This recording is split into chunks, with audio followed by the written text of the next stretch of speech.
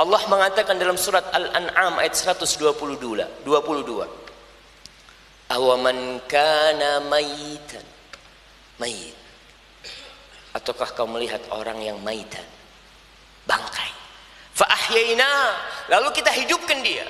Wa ja'alna lahu nuran yamshi bihi finnas. Lalu kami jadikan buat dia cahaya.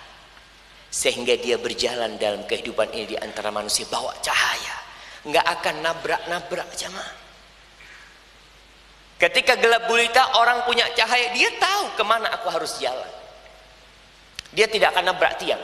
Dia tidak akan menjatuhkan gelas. Dia tidak akan menginjak HP. Dia tidak akan terpleset. Karena Allah kasih cahaya.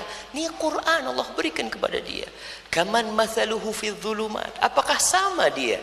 Seperti orang yang berjalan di kegelapan malam tanpa memiliki cahaya. Allah berfirman di surat Al-Isra ayat 9. Inna hadzal Qur'an. Ini Quran yahdi lillati hiya aqwa. Memberikan petunjuk kepada jalan yang paling lurus.